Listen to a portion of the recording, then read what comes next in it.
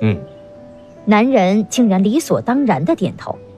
前世他一直以为自己作天作地，可以让霍明彻失望绝望，最后放弃自己。到现在他才明白，无论他变成什么样，只要他愿意，霍明彻都可以接受。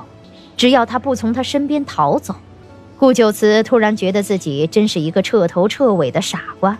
这世上有这样优秀的男人如此宠她，而他却为了渣男贱女断送了生命。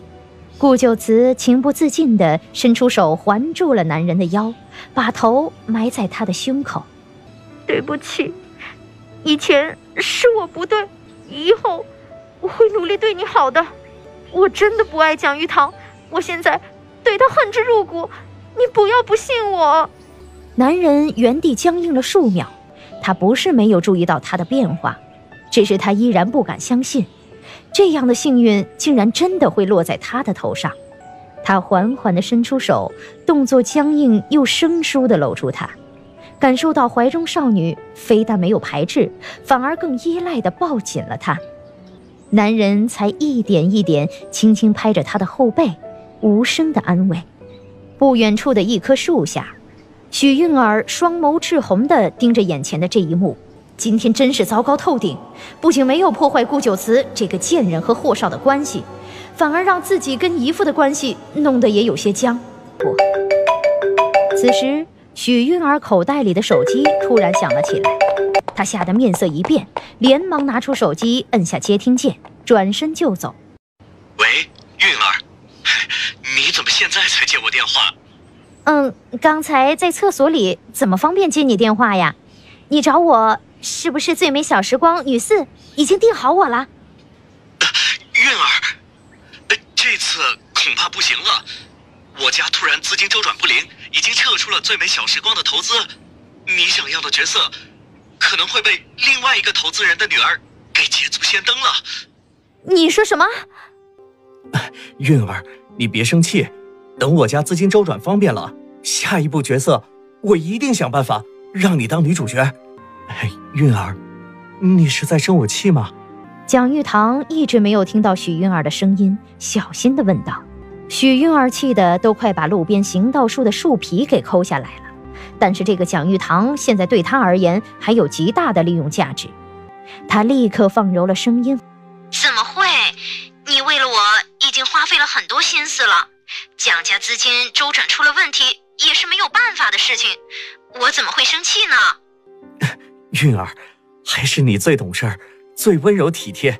那个顾九慈，根本不及你万分之一。提到顾九慈，许韵儿的眼中闪过浓烈的恨意。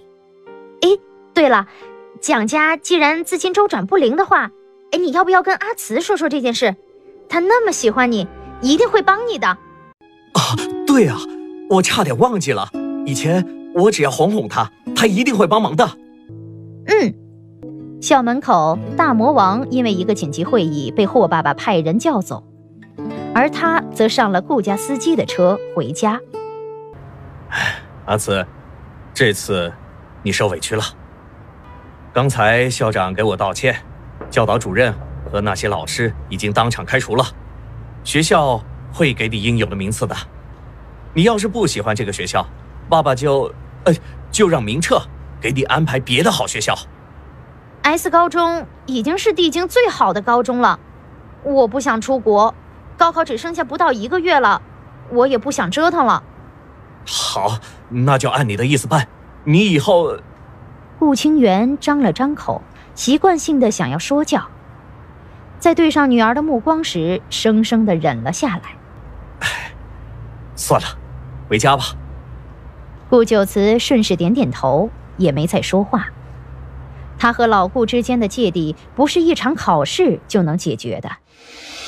回到顾家，看着福阿姨重新布置好的房间，顾九慈一头倒在床上，舒服的松了一口气。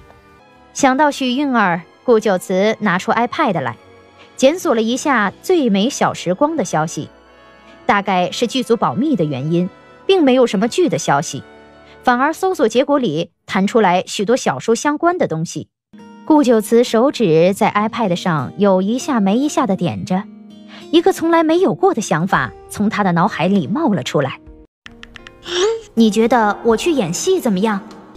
正在开会的霍明彻手机突然亮了起来，看见“小九”三个字，向来工作狂的某人竟然破天荒的在开会的时候悄悄拿起了手机。看到那行字的瞬间，霍明彻的脑海中立刻浮现了少女和陌生人亲密的演戏画面，顿时皱紧了眉头。可他还没有来得及回复，那边又弹出来一条消息：“没有亲密戏的那种。”想演什么？顾九慈眼睛都要瞪突出框了，他都准备好了 A、B、C、D 四套说服大魔王的方案了，没想到对方就这么轻轻松松的答应了。顾九慈迅速回复了一条消息：“等我想好了再告诉你。”做你喜欢的。顾九慈心满意足地往床上一倒，这种被人支持的感觉真是太好了。他不知道的是，霍明彻发完这条消息之后，立刻给战英发了一条消息。正在会议室外面当门神的战英看到这条消息，傻了眼。去考察一下，Top Five 的娱乐公司和影视公司，准备收购。主子怎么突然想要进军娱乐圈了？第二天一早，顾九慈下楼吃早饭，破天荒的发现父亲顾清源竟然也在，苏芙蓉和许韵儿也碰巧都在。阿慈，都日上三竿了，你这个小懒猫才起来，快过来吃饭，大家都在等你呢。现在才七点半，怎么就日上三竿了？顾九慈正准备反击，忽然主位上的顾清源开口了。他一句话说的，全家人都愣住了。苏芙蓉更是瞪大了眼睛，半天没有回过神来。往常顾清源一定会顺着他的话说教顾九慈的，今天怎么会？许韵儿则是目光复杂的皱紧了眉头。她不安的发现，顾九慈父女之间的感情似乎正在修复。学校八点才上课，催什么催？阿慈，过来坐。哎。他刚坐下，一杯牛奶就递到了他面前。老顾别扭的严肃道：“好好吃饭。”哦，顾九慈心里叹了口气。老顾这说教的口气，一时半会儿还是改不掉啊。是我不好，阿慈啊，正在长身体，应该多吃一点。你现在已经高三了，以后好好学习，别再让你爸操心了。这句话刚一说完，饭桌上顾家三个男人齐刷刷地朝他看了过来。苏芙蓉心头一跳，怎怎怎么了？旁边的许韵儿想要阻止，发现已经来不及了，只能面色冷沉地低头。阿慈想考第一就能考第一，根本用不着我操心。你们一个个都把他当傻子，往后得改。苏芙蓉这下连表情都控制不住了。她还想张口说什么，衣服就被女儿许韵儿拽住。妈，别说了。吃了早饭，不在状况的苏芙蓉就被许韵儿给拽走了。依旧是二哥开车载她去学校。没想到校门口，校长竟然站在路边。啊，顾同学，你可算来了！我代表全校教师，正式向你道歉。二哥顾七绝看着颇有些扬眉吐气。校长，现在知道我顾七绝的妹妹多么牛逼了吧？以后你们学校想要博一个市状元，还得看我妹妹的心情，知道没有？知道，知道。今天学校已经公布了年级大考的排名，顾同学是当之无愧的第一名。你现在已经是 A 班的尖子生了，要不？我现在就派人去 F 班，把你的东西搬过来。呃，不用了，不用了，我自己来就可以。阿慈，需要我帮忙吗？不用啦，不就是搬个书吗？我还是可以的。二哥，你快去学校吧。呃，那好吧，有事儿一定给二哥打电话。被欺负了，一定要说啊。知道啦。一旁的校长心里忍不住吐槽，在 S 高中。谁还敢欺负你妹妹这个混世小魔王啊？顾九慈径直朝着 F 班走去。一路上，各种各样的目光投射在他身上，四周更是充满了窃窃私语。哎，你们看公告牌了没有？就是顾九慈竟然考了第一。对呀、学校是不是记错成绩了？就是啊，当了三年的倒数第一，转眼就变成了全校第一，这里面肯定有什么猫腻。嗯，我听到的消息是顾九慈在年级大考中作弊了。真的假的？哎，年级大考这么严格的考试还作弊，校方一定会处罚顾九慈的吧？处罚个屁呀、梁主任和好多个老师都被迫辞职了。是不是顾家给学校施加压力了？嗯，哎，你没看见校门口校长都对顾九慈点头哈腰的吗？这梁主任真的好刚啊，不向强权低头。就是。顾九慈淡定着听着众人的话，吃瓜群众竟然没有一个表示不质疑的。不是他这三年混得太差，就是某人起了个大早给他招黑呀、顾九慈，你到底用了什么手段？是不是真的作弊了呀？凭你的智商，恐怕这辈子都不会知道了。你，黄丽丽气得想要干架，可是三年前就干不过顾九慈，只能嘴上说说。眼见着顾九慈抱着一摞书出了 F 班，走出班级的大门，顾九慈回过头看了眼他待了三年的班级，拜拜了，我混乱的过去，头也不回的朝着 A 班走去。那里也不是什么安宁和谐的圣地，只是新的战场罢了。此时的 A 班早就已经炸开锅了，女生们都围在许韵儿的身边打听顾九慈的事情。哎，韵儿，那个混世魔王真的要来咱们班吗？你跟顾九慈是表姐妹，你告诉我，顾九慈是不是真的作弊了？你们别问我了，我答应了阿慈，一定要保密的。太过分了，自己作弊不说，还逼得正直的梁主任和 F 班所有的老师离职了。怎么有他这种恶毒的人？哎，就算他来了，我也一句话都不会跟他说的。对，这种人太可怕了，千万不要跟他沾上任何关系。许韵儿心里不知道多高兴。顾九慈，你以为来到 A 班就会太平吗？你一样会被孤立，融不进去。唯有坐在人群之外的陆小桑微不可察地皱了皱眉头。经过那天的事情之后，他心里忽然觉得，也许顾九慈并非大家所想的那样。那个混世魔王来了！顾九慈一脚踏入 A 班，果然收获了一整个班级不善的眼神。哎，大家静一静，都回到自己座位上坐好。学生们还是卖给校长面子的，都各回其位。顾同学，呃，你看看，你想坐在哪个座位上？顾九慈打眼瞧过去，除了讲台两边差生专属座位空着，最后一排空着，剩下的就只有陆小桑的身边了。你想坐哪个座位都可以，我安排同学给你调换座位。顿时，全班同学都如临大敌，脸色一秒垮了下来。大家都不希望和顾九慈成为同桌。许韵儿低着头，隐隐勾起了唇角。现在的局势正中他的下怀。想到这里，许韵儿调整了一下表情，抬起头来，正要张口，顾九慈就在这时候勾了勾唇：“喏、就他旁边了，我觉得挺好的。”校长朝着顾九慈手指的方向看过去，陆小桑，从今天开始，顾九慈就是你的同桌了。你们一个年级第一，一个年级第二，挺好的。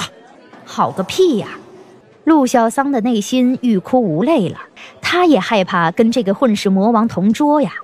许韵儿则是微微怔住了，她怎么都没有想到顾九慈会选择陆小桑。嘿，我想挨着窗户坐，你不介意吧？陆小桑抬头，正好对上顾九慈邪似的笑容。不不不，不介意。陆小桑感觉自己被蛊惑了一样，立刻收拾东西，把里面的位置让了出来。顾九慈坐下来，无视四周投来的目光。旁边，陆小桑已经回过神来。顾九慈在心底里叹了口气，从书包里拿出那本笔记，扔在陆小桑的桌上。这笔记对我来说没什么用了，我闲着无聊，给你笔记升级了一下，好好看看。说完这番话，便戴上耳机，趴下睡觉。哎，一个学渣给一个学霸升级学习笔记，就是这不是搞笑吗？就是，陆小桑的笔记毁喽。陆小桑翻开自己的笔记，只翻了几页，他就立刻瞪大了眼睛。他想，他大概知道顾九慈考第一的原因了。此时，第一节课的铃声响了。A 班的第一节课是数学课。不一会儿，戴着酒瓶底眼镜、秃头的中年男老师走了进来。上课了，上课了。有些学生还有没有一点当学生的样子？陆小桑小心地扫了眼杜方丈，悄悄扯了扯顾九慈的衣角。嗯，干什么？那个，顾同学，现在已经上课了。哦，顾九慈摘了耳机，很给陆小桑面子的直起了额头。杜方丈气得脸色铁青，但也没再说什么，冷声开始上课。我们今天来讲昨天年级大考的试卷，由于大家的准确率比较高，只讲最后一道题。他转身在黑板上写下原题。这时候，有个同学突然站起来，望着顾九慈，挑衅的开口：“哎，老师，顾九慈不是在年级大考里面考了第一吗？听说他数学是满分，不如让他来讲讲这道题怎么样啊？”他是拿着正确答案抄上去的，你居然要他讲题？于顾，你真是太有创意了！同学们开始一个两个的起哄，就等着看顾九慈原形毕露的笑话。顾同学，大家都这么热情的希望你讲题，要不你上来给大家讲讲？顾九慈微微眯起眼睛，并没有着急答应。大家都以为顾九慈是心虚。刚刚那个起哄的男同学于顾更是大笑着：“ 哈哈，顾九慈，你不是数学满分吗？怎么让你上来了，你反而不敢了呢？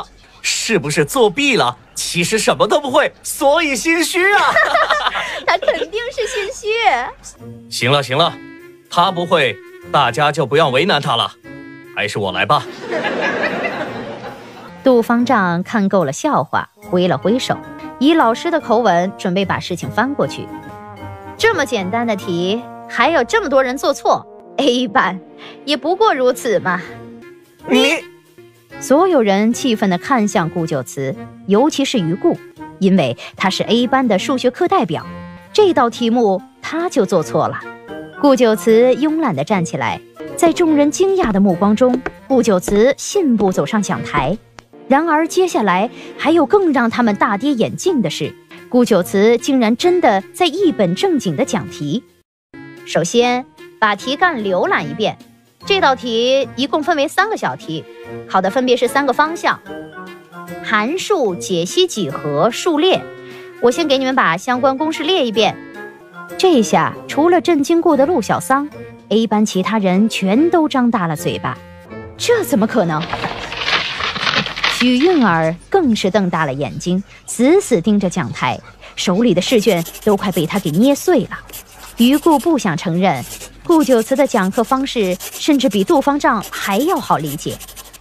杜方丈紧张地舔了舔自己干巴的嘴巴，这丫头的讲题思路竟然比他还要清楚明白。喏，这样，第一小题就解出来了。不到十分钟的时间。顾九慈就讲完了第一道题的解题思路，他淡淡瞥过台下那些惊愕的学生，屈起手指，以指关节猛地敲了两下黑板。看我干什么？我脸上有答案。看黑板。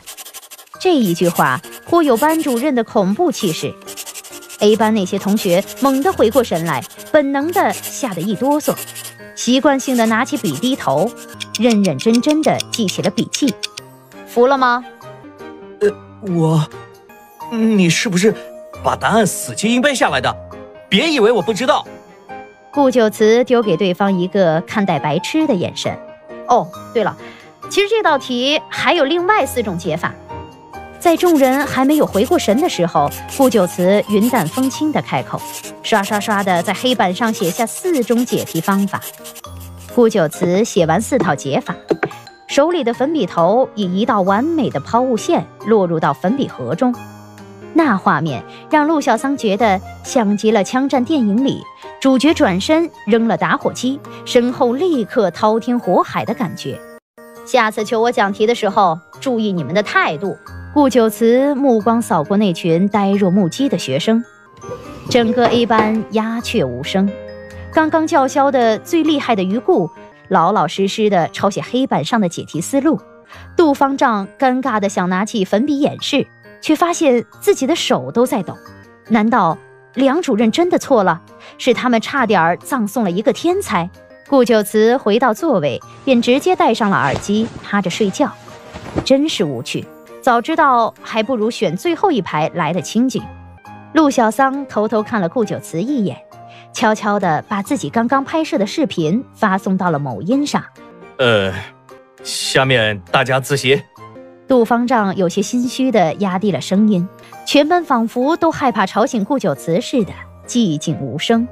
露了这么一手之后，顾九慈的耳边总算清静了许多，连带着接下来其他科目的老师上课。也不敢招惹他，生怕被他打了脸，落得比杜方丈还惨的下场。就这么到了中午，众人走出教室，他转过头看向身边的陆小桑：“陆小桑，你中午……阿慈。”他话都还没来得及说完，许韵儿一个箭步冲了上来，把陆小桑挤开了。陆小桑脸色一默，悄悄放慢了脚步，和他们错开。顾九慈微微皱眉。似乎在 A 班被孤立的人不止他一个呀。阿慈，我们一起去吃饭吧，咱们好久没有好好聊天了。你真的要跟我一起去食堂吃饭？当然了，这还有什么好问的吗？那好吧，这可是你自愿的。